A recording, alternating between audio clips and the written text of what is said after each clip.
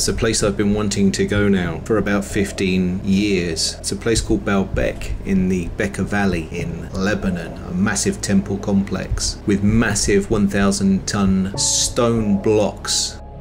Bottom left there, you can see the size of the person in comparison to the blocks. I've heard crazy theories about this place that it was once used as a landing pad by aliens in the distant past called the Anunnaki. I decided I needed to get myself out there and check it out.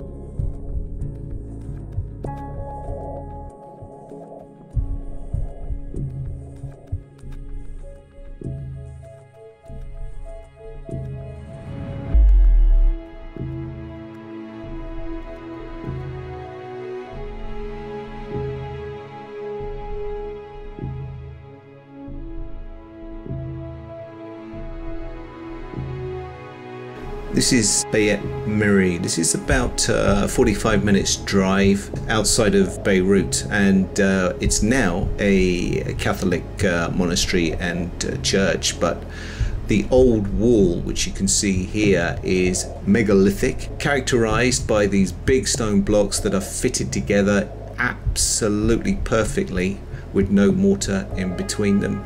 You can't fit a sheet of paper between them. They are absolutely horizontally aligned.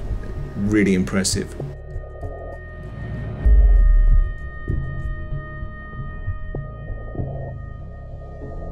Back in Beirut, there's uh, an older part of the city in the center which is being uh, slowly and carefully excavated. There's some signs of some uh, granite columns, probably granite from Aswan. Uh, and also you can see here what looks like the sort of tracks you see in Malta and uh, just above there is Hanan Pacha Peru style original stonework uh, and this is in the same complex as this Roman baths which was obviously built uh, later on.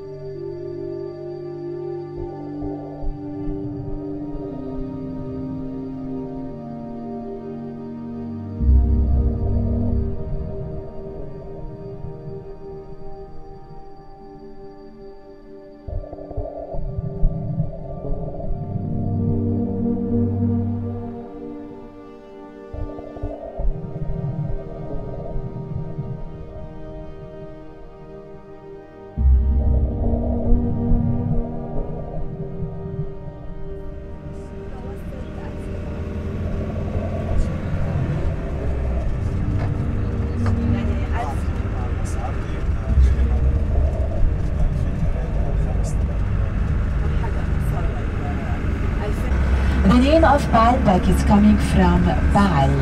Baal was the god of the rain, the god of the thunder, and we had different attributes to the god Baal.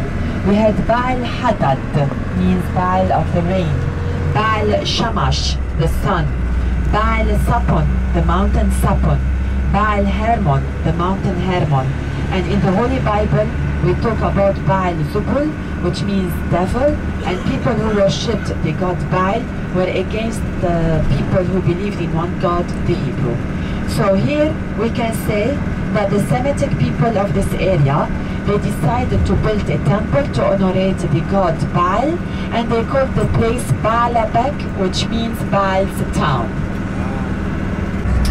Before going to the temples, we will go to see a quarry, and this quarry is called uh, the pregnant woman quarry or the pregnant woman stone in this, in this quarry. But what is important that you will see today, the quarry that they took the stones of the base. And because we are interested in the stones, and uh, uh, because we have the base of the temple is made from three huge stones, we call it the 3D stone. That's why it's very important to visit first the quarry and then we go to the temples. Okay? Thank you. That's what we wanted to do. Thank you.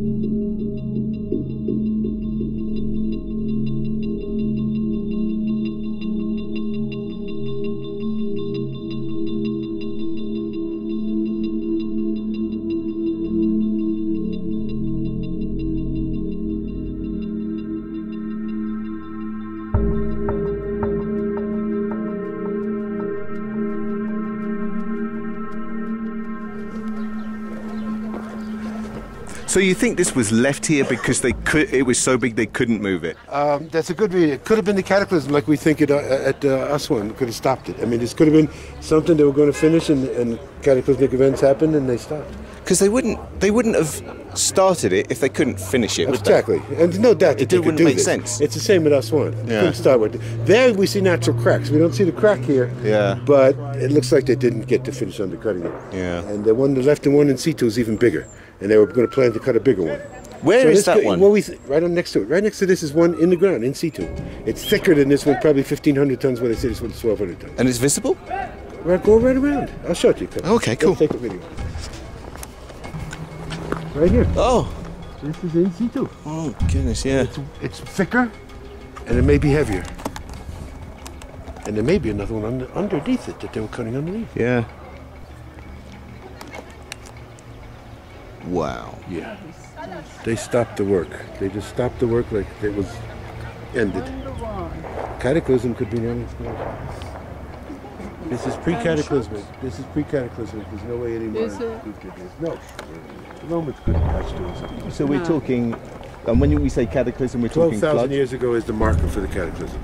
Around 12,000, 11,000. yeah. We say 12,000. Yeah. So this is pre-12,000 BC. Hmm. Yeah, I mean, and, and that is that's truly psycho- cyclopean. Cyclopean is how you describe it. Yeah. Cyclopean blocks. Exactly right. That's a good term. And the Baalbek temple is is kind of that way, isn't it? I think. Everything. This was the quarry for the site, no doubt. And, Yeah. and they must have had much ancient temples there that the Romans just built on top of, and that's what we'll see. Yeah. They didn't move the trilithons. The trilithons are a thousand ton blocks. Romans came and found the, just like the Inca did, found the remnants of a megalithic civilization just built upon it. Yeah. And the Greeks probably before them, Yeah. and the Phoenicians maybe. That's where Baal comes from, the Phoenicians. Semitic people. Okay, Because Susan had noticed this at Aswan. The material in the unfinished obelisk there was not as good as some of the statues we see in Luxor Museum. You know, originally, if you notice the test pits, they went test down to find the Yes, deeper side of exactly, it. That's what they wanted. Yeah. So this is the end. It, just like she said at Aswan, the senses are waning, the cataclysm is coming. They're trying to get this done as fast as possible. And maybe they knew something was going to happen and they stopped. So mm-hmm. this is the last that they did. Probably the obelisks they took out before this were magnificent. And they're all gone. Probably cataclysm or Romans chopped them up. The same that we know in, in Kemet, that we don't have any of the big obelisks anymore. I mean, the cataclysm took them down. So but this is the end of the work. One here, one was taken from here, Another one under here. and they here. were going to do another one. They were going to do another No, they weren't going to do another one because look at the quality of the stone. It's crap. But look at the end. No, no, that's Look the finished. They was The gonna end. do These this are te- these are test. They're testing the solidness, and here it's no good. No, I think it's a cataclysm stopped the At a right angle, Oh, it yeah. looks like they were pretty sure they were going to make one. And then it's a another one suck. from here. no, this is erosion. This is a result of years of erosion and probably cataclysmic effect makes it so look crappy. They had every intention to use this one, but they were in a hurry. They were in a hurry. We'll have to agree This is the end of the work, Alex. This is just like she saw. Yeah. She saw the same thing as one. The quality of, syenite in that unfinished obelisk is nowhere as good as the statues of Ramses in the, in the uh, Luxor Museum. Mm. They were. This is the end of the work, and this is all they had to do left. It was all that was left. So what was on, the ones they took on top are probably the pristine ones we'll never Yeah. see. So we're fortunate. Well, unless they were the ones that were already in the walls they're the temple. in, in the trilithon. the trilithon. He's Right, right. next Those are original blocks. How were they planning on moving it? Because they were obviously planning on moving Yeah. it. Anti- How? and They had created the same as, us, as the Khemitians did, the anti-gravity. Obviously. Obviously. They had to create an anti-gravity field to get this up. And that would have been something to do with sound, I Sound. think? Sound creates anti-gravity field. This is what we've been working on. This is what Hakim said years ago. Yeah. Sound and water were the key elements. And we have scientists all around the world. There's, again, there's two students that have contacted us from the University of Bristol in, in UK. Oh. One's getting his PhD in engineering. One's getting his PhD in physics. They're doing a joint project showing that sound can lift stuff, can create anti-gravity field. When they publish, we'll, we'll push their names and, publish, and promote their work. Awesome. Yes. Physicist and engineer, it's a perfect combination. Yeah, absolutely. Two young boys are really onto it. Really Yeah. onto it. the mentality of uh, of uh, uh, normal people is going to cut also horizontal Right, levels, okay? right. Because according to gravity, and I believe either primitive or uh, high-tech machine, they understand gravity. Of course. So according to gravity, this is will be double or maybe triple weight to move it. And it would also I- be yes, sliding, exactly. intending in that direction Exactly, to exactly. So I'm saying it will be double or triple weight. So Hard, if difficult. it's originally 1,000 tons, it's going to be 3,000 tons for the people who are Yep. right Yeah, on. Even with the high-tech machines or tools, still triple uh, weight also. Okay.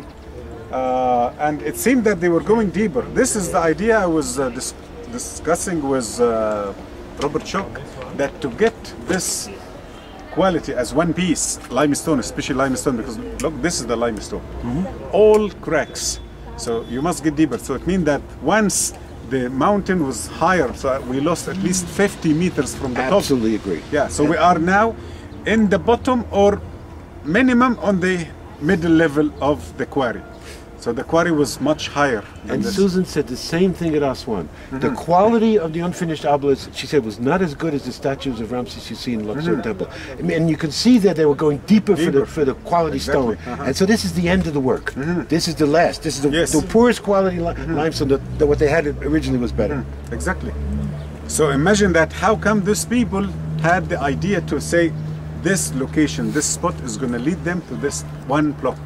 So it means that not only cutting tools, but also they have tools to see, Yes. to, to figure out like X-rays or GPR, GPS, Iowa, yeah, Iowa, okay? Iowa. because Or the sensors. Imagine with me that they cut half of it and then they find a crack. It Right. means they lost, I don't know, days or months or years of doing this. Uh, also, uh, workers and tools. Okay, so that is leading us to very uh, important uh, opinions or, uh, or uh, ideas that they very civilized. That is not a matter of just hard work. Yeah. Uh, they had uh, trolls or giants doing this. That is not the, the case at all. Right? No giants. Yes. Trolls, I like what to say about- what about A mountain, they It's a have a very quick- mountain troll. Stephen, what do you think about this sort of theory on sound? A sound system that not only tuned in to the material The frequency of the material. frequency of the material, Exactly. Yes. tuned in to the required geometry of the material, and that's why. Mm-hmm. I think And all that would- programmed in the mind again. Yes. All programmed in the mind. So the, the, the folks that had the capability to have moved this, if they wanted to, but didn't, mm-hmm. how long ago would that have been? Okay, let me tell you our timeline. Yeah. That 10,000 BC, till now, it is the, the beginning of civilization from zero, and then and let's compare with Egypt, uh, pre-dynastic, dynasties, and then Roman, and, and till now. Okay, mm-hmm. Before 10,000 BC, the cataclysm, it was the top, and when the cataclysm ended, that let's call it first human, maybe not the first, but let's call it the, the one before 10,000 BC. The humans were very civilized. Okay, Advanced. advanced completely because the story of um, I am one of the big uh, be- uh, against uh, the, the story of development like cavemen and then no no no I believe that Adam was sent with all the information all the technology. But not necessarily when I say technology it's not cameras and computers it could be mental technology okay? Like I, I want to talk to you I use my mind I don't Telepathy. use yeah okay? And so many things like this like, like, like maybe but i'm not sure they can lift stones with their power because with their brain. And don't forget that we don't use almost 70% of our brain. 80% in my case. 80% okay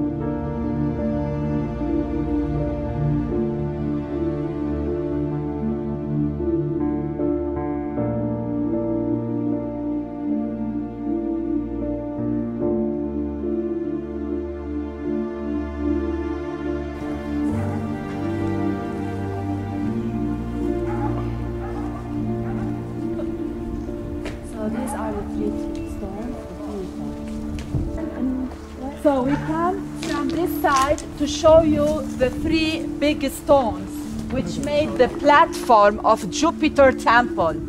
We call it a trilithon. So here we can see the first stone, the second and the third to the north.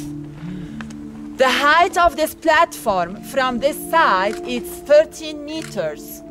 So here we see a part or the base. On the top, it's a modification which comes later from the Arab Muslim time. But the stone still the same, it's a limestone.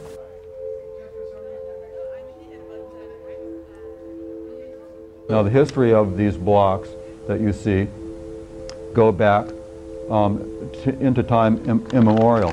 And as a matter of fact, I'll read from a, um, a book written by the curator of the site for 37 years, named Michael Alouf. He says that tradition states in the, in the town, in the area, in Lebanon, that the fortress at Baalbek is the most ancient building in the world and was built by Cain, son of Adam, hmm. in the year 133 of the creation. Going back to the time of Cain? Well, That's pretty th- far that's back. What, that's what the tradition says. And, I mean, that's the Adam and Eve. Of course, Yeah. I don't believe and the that. revisionist historians are, are Yeah. going back and say, saying, let's listen to these traditions and give some serious consideration to why these people say these things, uh, and not presume that they've just made it up or created a myth for the sake of creating one. Now, this is this that big, the big. Uh, These bl- these blocks and block? the, the that one's the one. the ones on the very block, top, right? they're known as the trilithon. And, Trilithon? and they weigh over 1,100 tons. So the remarkable anomaly is that how these could have been moved. Eleven hundred tons, one block. Precisely. You can see how precise they're Ah! mounted there. Look at that stuff. Mhm. That's amazing.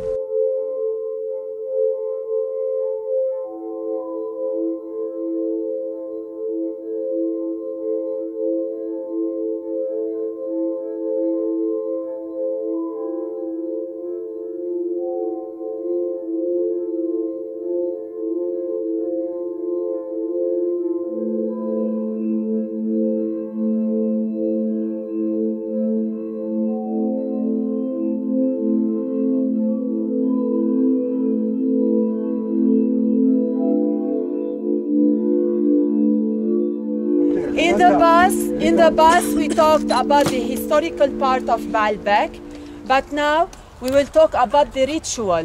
What did these people inside this temple? So we are concentrating the history of Baalbek during the Roman time because it was the largest Roman temple in all the Roman Empire. So this is a Jupiter temple. The temple is divided in different parts. We have the propylaea, the hexagonal courtyard, the great courtyard, and the temple itself. In front of the propylaea, we have semicircular benches. So it was here in this area. People will wait when the priest and the procession are ready. They will start the ceremony by the propylaea. As the name said, the entrance before the doors. And if you look to the main entrance, you can see that we have two towers. We have 12 granite columns and we have a staircase partially restored to uh, give an idea that the, uh, that the complex or the temple was a fortress before the restoration. So we will go up and we will start the visit from the propylaea. Today, of course, it's cottage or broke. Very smooth. Beautiful. Yeah. Well, just feel it. Feel the transition from here to there. And then go this way.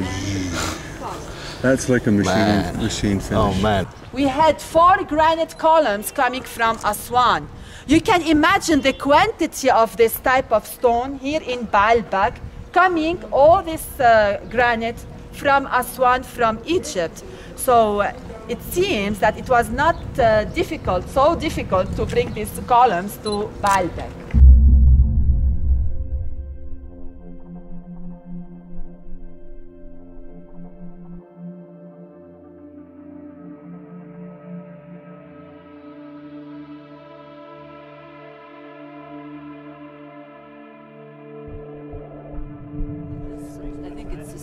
See it. same as the uh, the granodiorite. I think they're coming from slightly different places in the quarry. yes. And the granite diorite, I don't think comes from Egypt, and this stuff I think it does. Big piece quartz.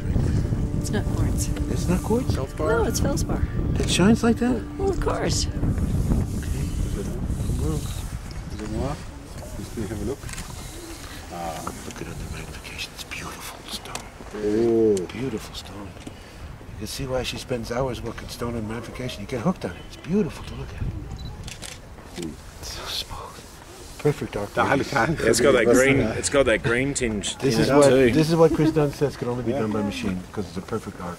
Hmm. You can see that we have an altar, we have a tower behind, we have two columns, and we have two basins. The priest will go directly to the basin, he will purify the animal, and after the purification, he will go up to the altar where the people taking picture there. And of course, uh, when he kills the animal with a sacred knife, people will start to go up the tower and down. They will participate in the sacrifice. It looks like each person is offering a sacrifice aside. The priest here is not God, he's not replacing God, he is a mortal who's putting order to the ritual. This is a typically Roman sacrifice. But if you look to the plan, you can see that you have two columns. The first one, uh, it's pink, it has a pink color, represents uh, the fire.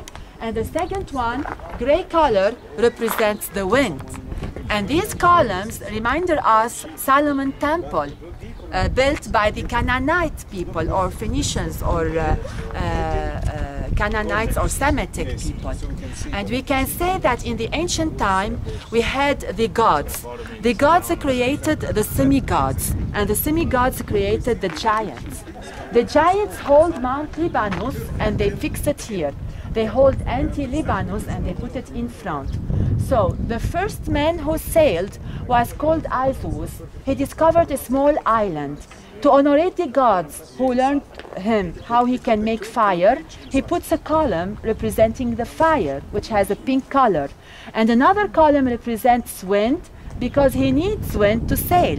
So this is Boaz and Yakin in the in Solomon Temple. This is the balance of the universe.